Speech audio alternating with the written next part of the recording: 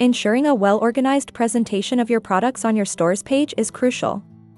Hence, in this video, we'll demonstrate how to effectively showcase products on your online store using SP Page Builder 5. Start by checking if you have your product list ready that you wish to add to your storefront. Then, navigate to SP Page Builder Pro from the components and choose Easy Store.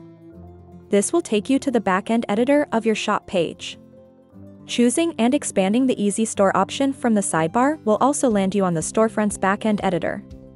Once there you can start adding and editing your add-ons according to the layout of your shop page. For today's tutorial, we will create a simple layout to display our created products. Let's start by adding a section.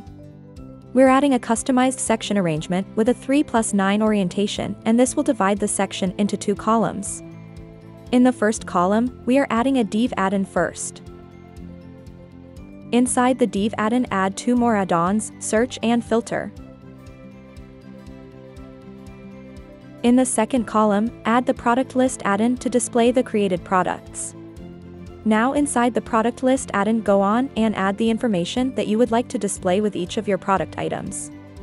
These can be the product's titles, images, add to cart button, badge, prices, and more. For this particular demonstration, we are adding thumbnails, category, title, and price add-ons. Save the changes and let's check our layout so far. This is how your shop page will look like initially.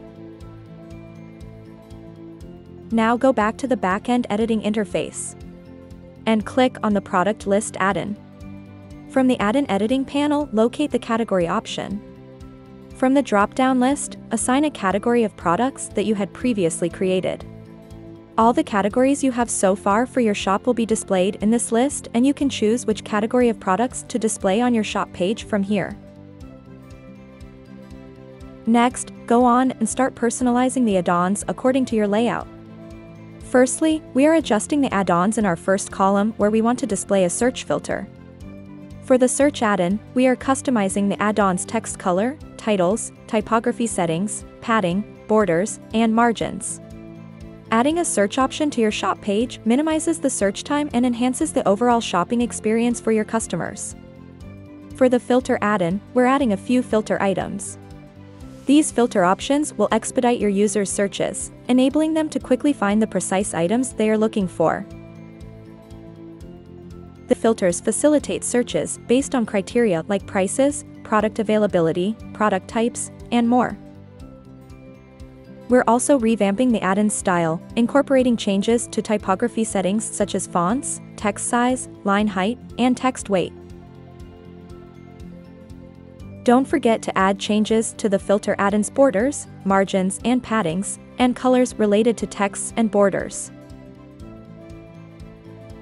Save the changes and let's have a look at the result. The search filter looks perfect. Next, let's customize our second column. We will adjust the add-ons look individually. Editing the add-ons entirely depends on what your layout demands.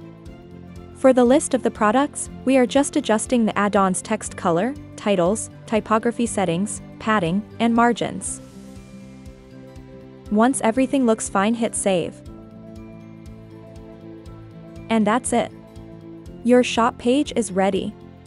Customizing and showcasing your Easy Store shop page with SP Page Builder is as simple as that. In our next video, we'll show you how to create and customize a single product page with SP Page Builder. So stay tuned for more tutorials on Easy Store.